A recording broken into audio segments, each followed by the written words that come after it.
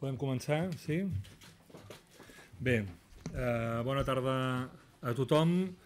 Ens hem reunit, com estava previst, amb el president del Parlament, el senyor Roger Torrent. Ha estat una reunió eh, cordial, efectiva. Hem fet allò que volíem fer, que és expressar el, que tenim candidat i que la nostra intenció és que el candidat Puigdemont sigui, eh, abans d'acabar aquest mes de gener, el nou president de la Generalitat de Catalunya, el nou president del govern, eh, complint, donant sortida al mandat de les urnes, que és la restitució del govern de Catalunya, l'aixecament eh, del 155 i, per tant, a partir d'aquí engegar l'obra de govern amb normalitat.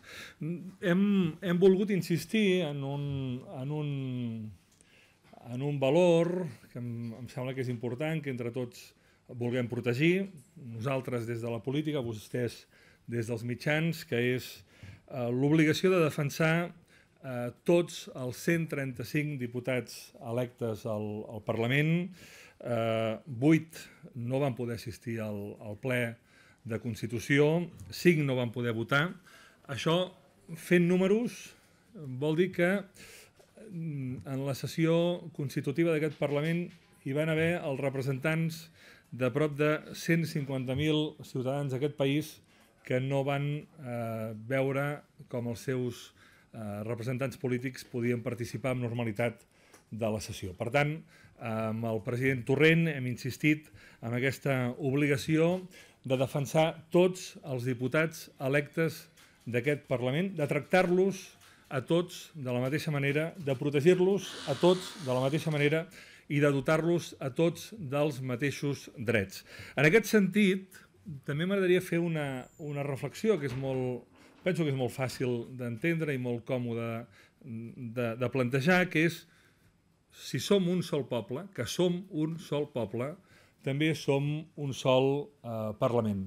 Per tant, no hi ha eh, diputats de primera, no hi ha d'haver diputats de segona. Aquesta ha estat una de les insistències, un dels plantejaments que hem formulat el president eh, Torrent.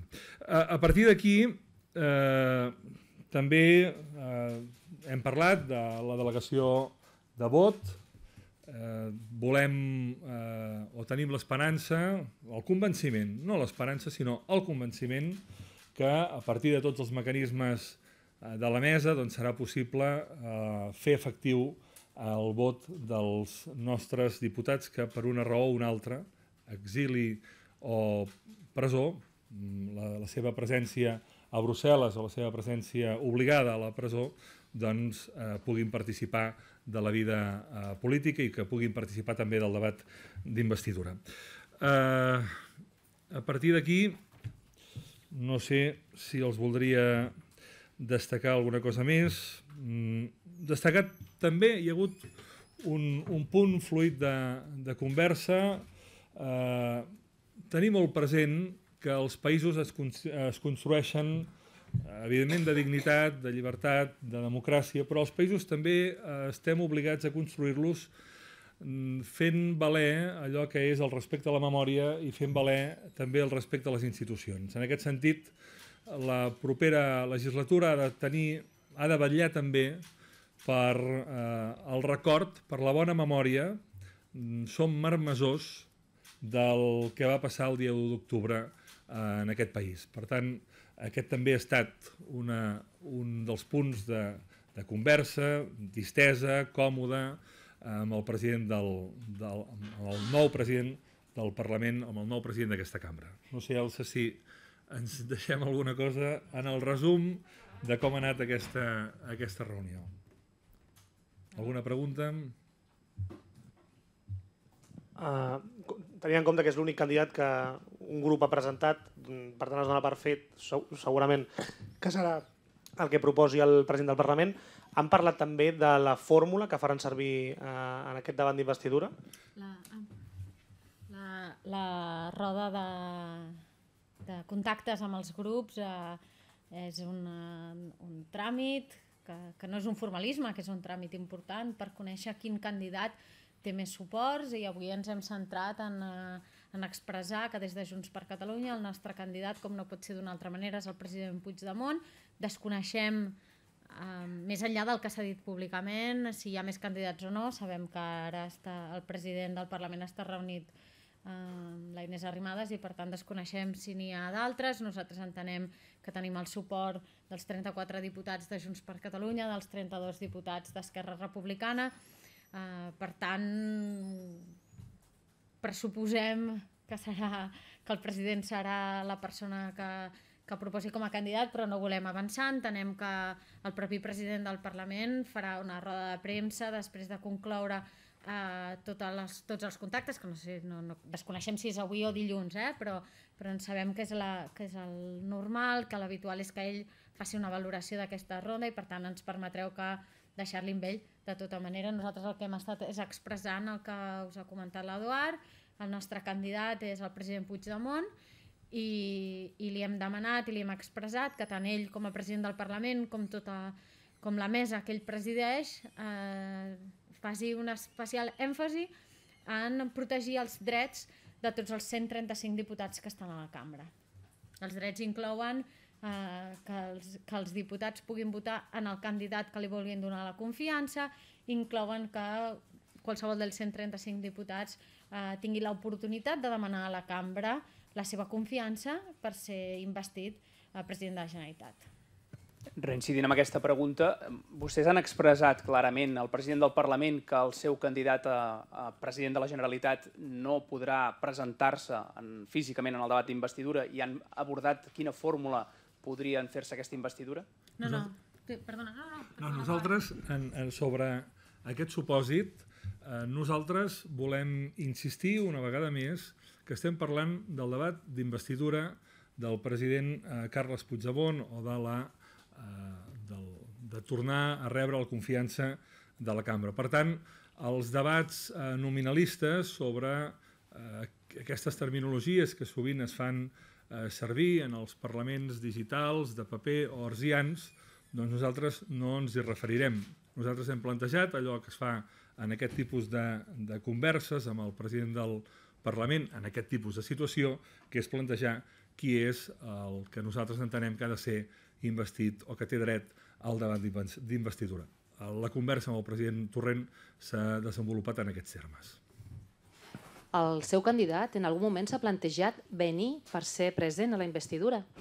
Els diputats del Parlament de Catalunya, i així, i així ho expressa amb molta lucidesa el fiscal general de l'Estat amb un llibre que es troba aquí també a la biblioteca del Parlament, eh, gaudeixen d'immunitat Um, és veritat i, i que aquest és un camí que nosaltres uh, seguim explorant uh, del reconeixement dels drets dels diputats, tant els que estan a l'exili, els que estan a la presó, com els que vam poder ser en el ple uh, aquesta setmana um, el dimecres, uh, gaudim d'immunitat i per tant hem de veure uh, fins a quin punt uh, aquest dret dels que gaudim se'ns respecta i, i això té conseqüències tant pels que són a la presó com per, pels que són a l'exili. Um, hem de veure fins a quin punt uh, això serà així i per tant no descartem res, no descartem res, però és veritat i em sembla que aquest matí el president s'ha expressat amb molta claredat. Mm -hmm. um, ell és molt més útil com a president que com a presoner. Per tant, no hi ha cap voluntat ni cap desig, em sembla que de ningú, o de la majoria de la gent, eh, que el president de la Generalitat estigui a la presó. Però sí que és veritat que estudiem tots els camins. Abans també ens preguntàveu si, si ara si havíem estat parlant amb els diferents mecanismes d'investidura amb el president Torrent. Avui no n'hem tractat, però sabeu perfectament que estem explorant tots els instruments que, eh, que, permeten, que permet el reglament del Parlament eh, de Catalunya. Els estem explorant nosaltres internament, els estem explorant sobretot amb els, amb els dos membres de Junts per Catalunya, que són a la mesa del Parlament, el vicepresident Costa i el secretari Campdepadrós, i forma part de la feina que fem conjuntament amb Esquerra Republicana de desgranar tots aquests instruments i acabar decidint quin és el que ens interessa més. Això no ho decidirem avui, això ho decidirem a mida que passen els dies i a mida que ens aproximem amb un ple que encara no està convocat. Sobre, sobre aquesta immunitat, immunitat parlamentària a la que feia referència l'Elsa Artadi, mm, no és, no, és una, no és un caprici, eh, no és eh, agafador legal, sinó que és una circumstància molt seriosa i que voldria remarcar-ne la importància que té perquè es tracta és una figura que el que vol, el que pretén, el que busca és protegir la voluntat popular perquè és, mm, es tracta o vol protegir eh, els drets polítics de tots els representants dels ciutadans. Per tant, no és un tema menor, no és un caprici, insisteixo, sinó que és un dret importantíssim en l'escena parlamentària. Eh? Aquesta invocació de la immunitat parlamentària és, diguem-ne, ja en el supòsit de que el senyor Puigdemont ja és president i llavors...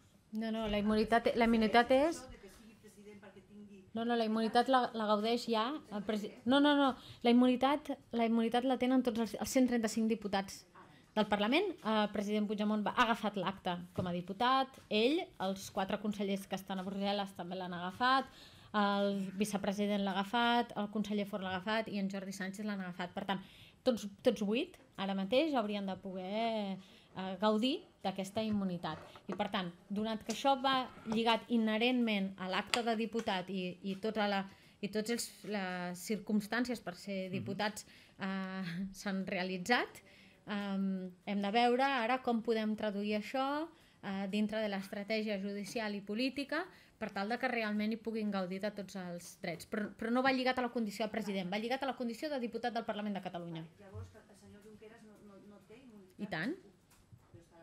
Bueno, aqu- això és el que hem de veure. Com és... No, no, la, la immunitat va lligada al ser uh, uh, diputat del Parlament de Catalunya. Per I això per tant dèiem, hem de veure com es trasllada això a nivell judicial i a nivell polític perquè puguin gaudir tant els que estan a presó com a l'exili d'aquest dret que ells han adquirit com a diputats. Del par per tant, això és el que estem estudiant ara en aquest nou escenari en el que tots vuit són diputats, quines implicacions té. Per això, això- ens ho estan estudiant els, eh, els nostres dos membres de la, de la mesa, però també els diferents juristes de Junts per Catalunya. per això dèiem que eh, li hem transmès al president Torrent aquesta eh, voluntat, aquesta, aquest encàrrec a la mesa del, del Parlament perquè eh, treballin, perquè tenen l'obligació d'aconseguir que, eh, de defensar tots els drets dels 135 diputats d'aquest Parlament perquè no hi ha diputats o perquè no hi hagi diputats de primera i diputats de segona. La primera, sobre això, volen dir que amb aquesta immunitat no se'l podria detenir si arribés a Espanya? Amb aquesta immunitat et poden detenir si, si estàs fent un acte criminal en aquell moment. Uh, si no, no. Això és el que vol dir la immunitat. Uh, uh, tots aquí estem, tots, em sembla que tots estem aprenent uh, dia a dia moltes coses. I la segona, a la roda de premsa anterior d'Esquerra Republicana, han, els hem preguntat moltes vegades i han evitat dir explícitament que donen suport a la investidura a distància o, o no presencial. Tenen assegurat el suport d'Esquerra en, en aquest sentit? El dimarts vam, uh, el dimarts vam emetre un comunicat conjunt de Junts per Catalunya i Esquerra Republicana en el que nosaltres donàvem suport en el president Torrent i ells donaven suport en el president Puigdemont. Per tant, no concebim que no sigui d'aquesta manera. Però ells aquell mateix dia també van dir que donaven suport al candidat però no a la modalitat d'investidura. Que això és no que la, la, la modalitat d'investidura és un tecnicisme, ells eh, entenem que Esquerra Republicana eh, honora el pacte com no pot ser d'una altra manera, de donar suport a la investidura del president Puigdemont. No tenim cap dubte i la relació amb Esquerra és fluida, normal i estem treballant en totes les dimensions per anar superant les diferents pantalles que van des d'investidura, presa de possessió, formació de govern i amb tota normalitat. I per, per què S'ha arribat a la pantalla, en les negociacions aquestes o converses amb Esquerra, s'ha arribat ja a la pantalla de la fórmula d'investidura? Estem treballant des de fa molts dies amb aquests temes, hem estat posat sobre la taula diferents escenaris que més coneixeu perquè eh, és el gran tema que tothom parla aquests dies i per tant tant els seus juristes com els nostres juristes estem tenint reunions però eh, és el que us comentava fa un moment fins a l'últim moment o fins que ho tinguem més avançat no ens acabarem decantant per una i l'altra.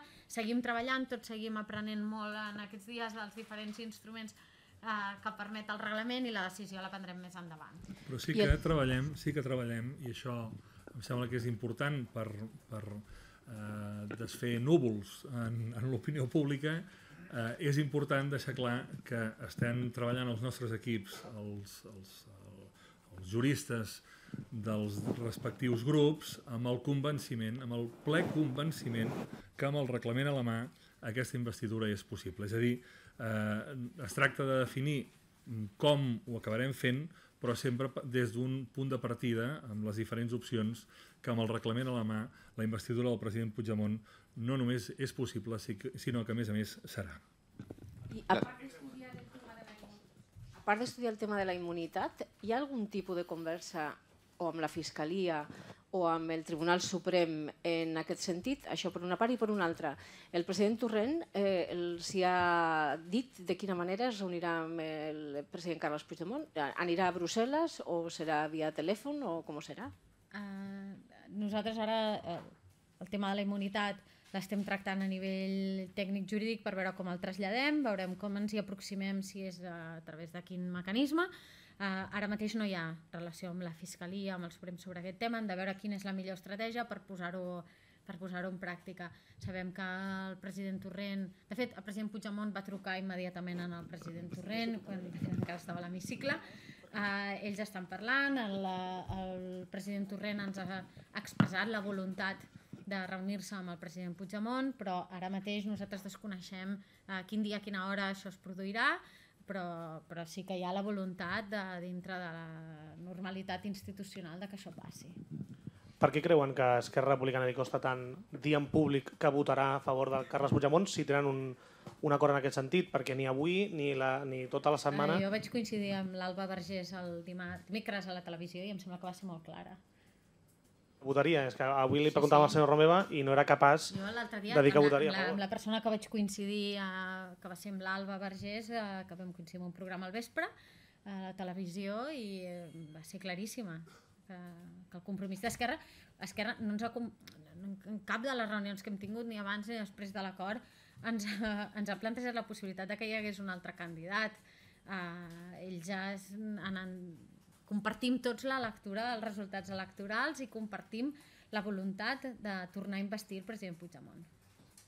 El govern central en diverses ocasions d'aquesta mateixa setmana ha deixat clar que farà tot el possible per impedir aquesta investidura, que està disposat a impugnar-la, a recórrer-la. Què farà Junts per Catalunya en cas que, que això arribi a passar? Però um, està molt bé la pregunta que em formules perquè jo torno la pregunta al govern d'Espanya en funció i amb raó, en base a què no respectaran el resultat de les últimes eleccions. Eh, hi hauria d'haver alguna raó per no respectar un resultat, per no respectar el bon funcionament d'una cambra, el resultat d'una sessió d'investidura. Hi hauria d'haver alguna raó que a mi m'expliquin i que pugui entendre de per què eh, no, no veuen bé aquesta investidura del president Puigdemont. Jo començo a tenir la sospita, o tinc la sospita de fa dies, que el problema no és el sistema, el mecanisme d'investidura. El problema de la investidura del president Puigdemont pel senyor Rajoy i el club del 155 és el propi president eh, Puigdemont. I no només és el propi president Puigdemont, sinó que sospito fins i tot que el problema és una raó superior, que és el bon govern de Catalunya, que és la defensa de les institucions d'aquest país. Entenc que no se les creguin, nosaltres tenim l'obligació de protegir-les, de respectar-les i de ser-ne dignes representants. Per tant, insisteixo, eh, que algú m'expliqui per què el president Puigdemont no pot ser eh, investit quan té la, o quan eh, tindrà la confiança de la majoria d'una cambra sortida d'unes eleccions eh, absolutament democràtiques mm, celebrades el passat dia 21 de desembre. Sí, aprofitant la benentesa, en castellà, sisplau, m'agradaria... Sí, hola. Acerca de la reunión eh, mantenida por un, la dirigente del PDCAT, Marta Pascal, con el exministro Rubalcaba, no sé si lo han hablado, eh, les han informado de qué contenido, en qué contexto y qué temas tocaron en esa reunión. Gracias. No, no, no crec que ens pertoqui a nosaltres valorar reunions del PDeCAT. Jo en català encara eh, volia saber aquí darrere, volia Sí, saber sí, si home. des de vosaltres només contempleu eh, una investidura en aquesta primera volta, si creieu que seria un error eh, que la investidura de Carles Puigdemont no tirés endavant a finals d'aquest mes. Creiem que tant políticament com a nivell de no donar més marge del que ja s'agafa l'estat espanyol, la nostra voluntat és anar a primera investidura. Sí, sí. Creiem que és important que políticament a nivell eh, Catalunya, però a nivell també internacional, eh, visualitzar el, quina és la voluntat inequívoca dels diputats del Parlament de Catalunya. I entenem que tots estem molt acostumats, malauradament, a que el Constitucional eh, tombi decisions del Parlament de Catalunya quan es tracta de protegir els drets dels ciutadans, quan es tracta de protegir el medi ambient, etc etc. I ja entenc que, que malauradament hem entrat en aquest eh, marc mental de que el Constitucional ho pot aturar tot. Però penseu que quan el Constitucional fa això, eh, que no, evidentment no hi estem d'acord ni a nivell jurídic ni a nivell polític, el que està fent és aplicar un concepte de dir que el Parlament de Catalunya invaeix competències de l'Estat i que per això no, no li permet, mm, per exemple, protegir els drets dels ciutadans en temes de pobresa energètica o habitacional, etc etc. Ara estem parlant d'una cosa que és molt diferent i, per tant, eh, no és equiparable. No és el Constitucional el que ha d'aplicar el reglament del Parlament de Catalunya. El Parlament de Catalunya és sobirà per aplicar el seu propi reglament. I, per tant, eh, que això és el que em sembla que ha explicat molt bé eh, l'Eduard Pujol ara mateix, no ens sembla tampoc de cap manera obvi eh, com el, el Constitucional pot interferir en una decisió del ple del Parlament. Per tant, jo entenem que Mariano Rajoy i el seu entorn està tot el dia dedicant-se a amenaçar, ja ho van fer amb la delegació del vot dels de Madrid i no ha passat res, um, es dedica a amenaçar per veure si d'aquesta manera nosaltres no tirem endavant, però després haurà d'haver-hi algú que justifiqui amb una mica de decència i coherència amb quins arguments jurídics es basen en que el Tribunal Constitucional ha d'entrar en com aplica el reglament de Catalunya al ple del Parlament de Catalunya. Dos, dos preguntes. La primera, ah, no sé si teniu constància d'un possible viatge del president Puigdemont a una universitat de Dinamarca a donar una conferència. I en segon lloc, eh, heu parlat d'Esquerra, però no heu parlat de la CUP. Eh, la CUP en moltes ocasions ha dit que sense un signe clar d'implementació de la república, d'unilateralitat, etc etc, no donarà cap eh, suport a la candidatura del senyor Puigdemont. No sé com van aquestes converses. El, efectivament, hi ha un viatge programat del president Puigdemont, que ja ho han anunciat, a Bèlgica, eh, perdó, a Dinamarca la setmana que ve. El president Puigdemont, igual que els consellers que es troben a l'exili a Brussel·les, tenen llibertat de moviment a la Unió Europea, com no podria ser d'una altra manera, eh, però no a Espanya, que és la normalitat. Uh, per tant, dintre de la normativa, tant belga com danesa, són lliures de moure's i efectivament el president Puigdemont serà en una conferència, crec que és, no sé si és dilluns o dimarts, uh, d'aquesta setmana que ve. Uh, respecte a la CUP, tens, tens tota la raó, nosaltres no podem donar per fet, nosaltres necessitem el vot, el vot a favor dels quatre diputats de la CUP, o d'almenys una part dels diputats de la CUP, uh, perquè només amb els vots d'Esquerra, Junts per Catalunya i la CUP aconseguim tenir aquesta majoria independentista. I nosaltres ho hem expressat des del primer dia. La victòria a l'independentisme és una victòria compartida. I no podem donar per fet de que ningú votarà amb una cosa o amb l'altra. De ser, eh, s'han d'arribar a acords i s'han d'arribar a acords entre les tres forces. Per tant, amb la CUP hi treballem i treballem perquè només podem entendre el seu vot a favor si és un discurs del president amb els que ells hi estan d'acord. I per tant no pressuposarem d'entrada eh, que votaran a favor, sinó que la nostra voluntat és treballar intensament perquè realment eh, la CUP s'hi trobi a gust amb el, amb el discurs, perquè em sembla que els vots eh, dels seus diputats són tan dignes com els dels nostres i no han de per què votar una cosa que no, que no s'hi trobin a favor i per tant la voluntat és de treballar amb ells i tenim confiança de que arribarem a, una, a, una, a bon port però això només és possible si, si treballem i si ens hi posem d'acord. En castellano? es volia preguntar sobre això de la immunitat. Han demanat al president del Parlament que la mesa faci un, eh, un encàrrec als lletrats sobre la figura de la immunitat del diputat i de si això serviria perquè el president Puigdemont pogués tornar sense ser detingut. Eh, I sobre aquest tema, estan segurs de que la immunitat eh, del diputat és a partir de que es rep l'acte o a partir de que s'ha pres la possessió? És a dir, hi hauria una diferència jurídica entre prendre la possessió, per exemple, vostès haurien, prendre, haurien pres possessió i els diputats que no han votat encara en el ple i per tant eh, no han pres possessió i això seria diferent? Eh, no, no tinc ni idea, de fet, i, i, i si, si no ho saben vostès no, no passa res, però crec que... Sobre la primera pregunta, no, encara no hem decidit com traslladarem Uh, o sigui, estem estudiant quines implicacions té la immunitat i aleshores veurem si, quin és el camí a seguir, si és un informe del lletrat, si es trasllada directament amb el Suprem, per tant no, no ho hem fet i entenem que sí, que ja som diputats de ple dret des del dimarts que es va constituir el, el Parlament. Jo encara en català... I si, si no és així ho, ho acabarem de veure, però nosaltres entenem em sembla que la, la, el perfeccionament de ser diputat del Parlament s'assoleix amb la Constitució del Parlament sentíem Puigdemont dir que no es pot ser president des de la presó. Vostès sempre han dit que el seu objectiu és restablir el govern legítim, això vol dir president Puigdemont, vicepresident Junqueras. Es pot ser, per tant, vicepresident des de la presó?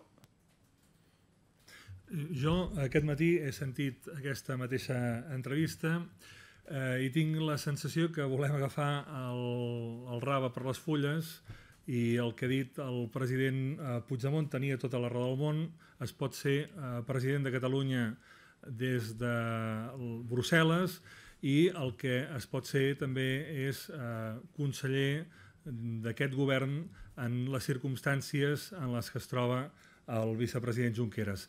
I sobretot es pot ser en aquestes circumstàncies perquè el valor su superior o el lloc que defensem d'una manera més eh, noble i més decidida és el dret del, president, del vicepresident Junqueras i del conseller eh, Forn, així com del diputat eh, Jordi Sánchez, a ser representants i a fer aquelles feines que els encomenen eh, o que els encomana aquest, aquest eh, Parlament i el futur govern del país. Tenen tot el dret del món.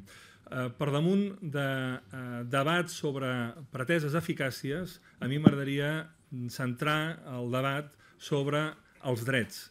El vicepresident Junqueras té tot el dret del món de ser vicepresident del govern de Catalunya, si així li fa l'encàrrec al president Puigdemont i si així ell ho decideix.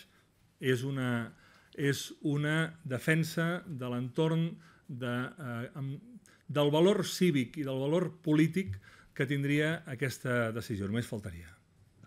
Vostès en campanya es van comprometre clarament i ho han continuat fent durant les últimes setmanes després de les eleccions que en el cas que el president fos investit eh, de nou president de la Generalitat, tornaria fins i tot arriscant-se a, a, al risc de la presó. Per què ara no són tan clars amb aquesta qüestió? Fins i tot el, el propi Puigdemont avui deia que s'havia de garantir primer que, que, no podia, que no fos detingut o que havia de tenir uh, la capacitat d'exercir de president i no, no ser la presó. Per què s'havien compromès tant a aquesta tornada, fins i tot amb el risc, i ara, en canvi, fugen una mica d'aquest compromís i ho deixen doncs, amb el tema de la immunitat o, o estudiant la possibilitat que no, que no entri a presó? Jo tinc la sensació que si una virtut ha tingut eh, la candidatura de, eh, del grup de Junts per Catalunya des del dia que vam començar a treballar ha estat una argumentació eh, molt sòlida, molt tossuda, molt eh, recta. Hem fet pocs cops de volant i en aquest tema em, em, em sembla que tampoc n'hem fet hem defensat sempre que el president Puigdemont ha de tornar a Catalunya. Només faltaria que no defenséssim que el president Puigdemont ha de tornar a entrar a aquest palau del Parlament i ha de tornar a entrar al palau del govern de la Generalitat a la plaça de Sant Jaume, el que no hem dit mai és que el president Puigdemont ha de tornar per ser empresonat i eh, portar la presidència de, la, de, de Catalunya, d'aquest país, a la presó. Tenim, insisteixo, ho hem repetit moltes vegades, avui el president Puigdemont també en feia esment en la seva entrevista a Catalunya Ràdio, tenim un alt sentit de la institució perquè els pobles que no tenen un alt sentit de la institució són pobles amb risc i nosaltres no tenim cap intenció de posar en risc ni la institució ni la memòria d'aquest país. En castellano? Eh, jo volia fer una pregunta en català. Um, aquest viatge a Dinamarca, uh, no teniu por que es torni a activar l'euroordre contra, contra Puigdemont? Ho heu parlat això amb el, amb el govern o vull dir, amb el govern de Dinamarca o teniu alguna garantia que no serà així? Uh, crec que en aquest, crec que en, fin- en aquest moment garanties del comportament del govern espanyol poques.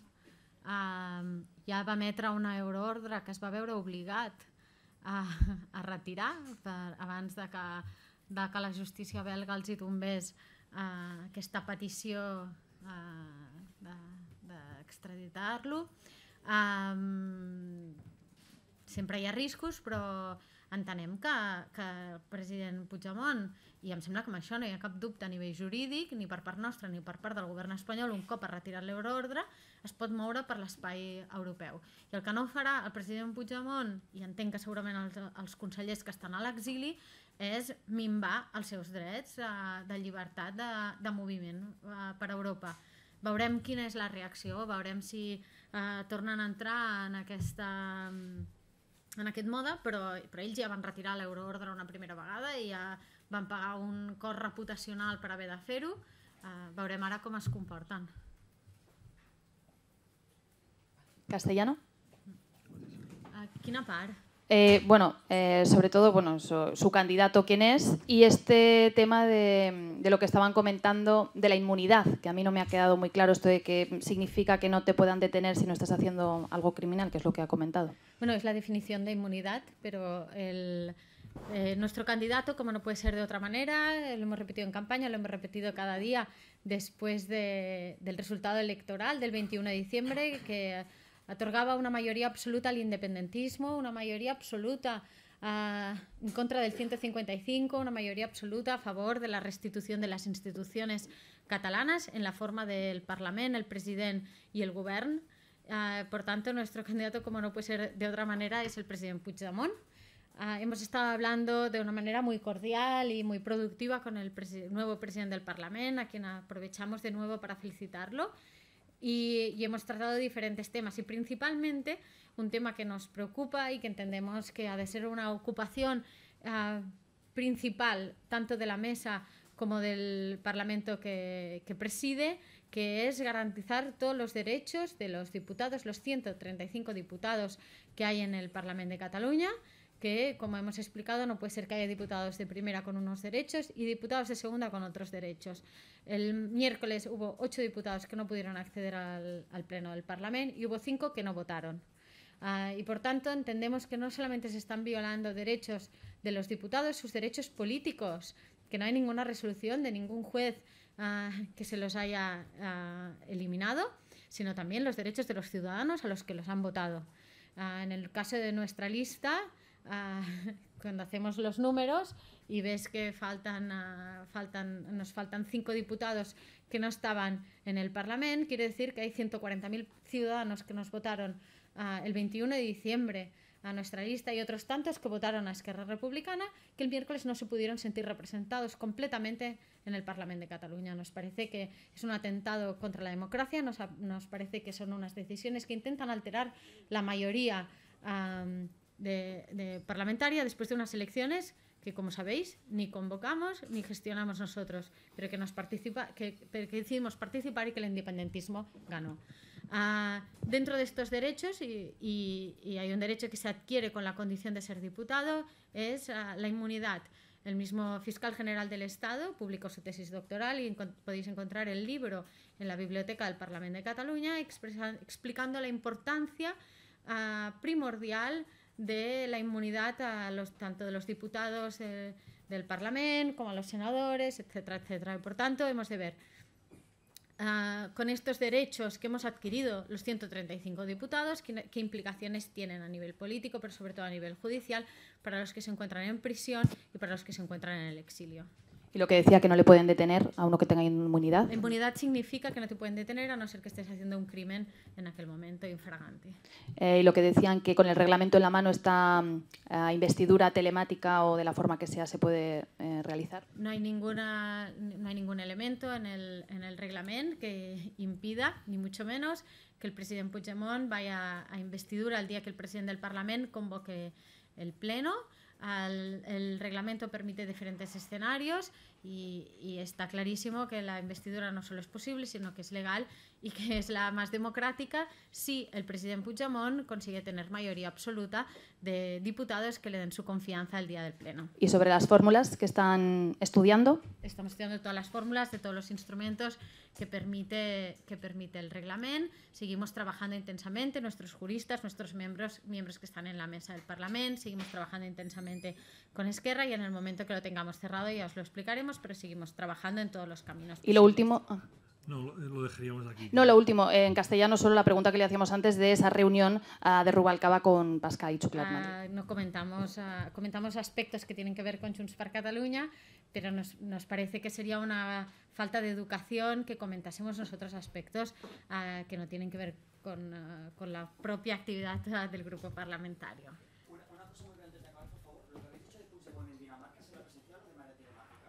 Presencial. Sí, sí, lo confirmamos. Moltes gràcies a, a tots. Gràcies.